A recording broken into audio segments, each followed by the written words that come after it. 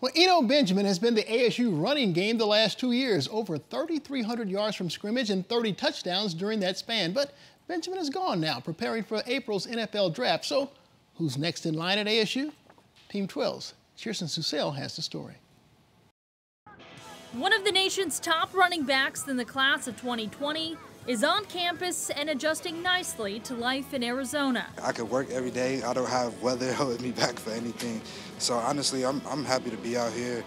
It's sunny, so there's no reason to be uh, frowning, smiles everywhere, so I'm happy. But it's not just him making the move from the Midwest to the Southwest. DeaMonte Trayanum's whole family will soon join him. And I mean the whole family.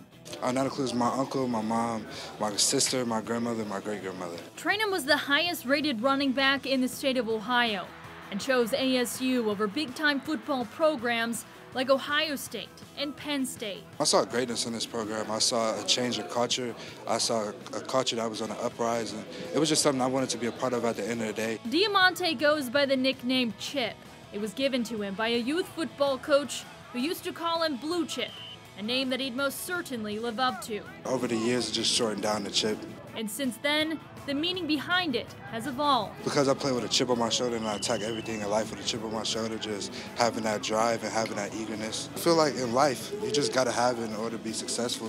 You can't be complacent with anything, and that's my main drive. Whether you're watching him during practice or talking to him afterward, one thing's for sure, he doesn't seem like a freshman.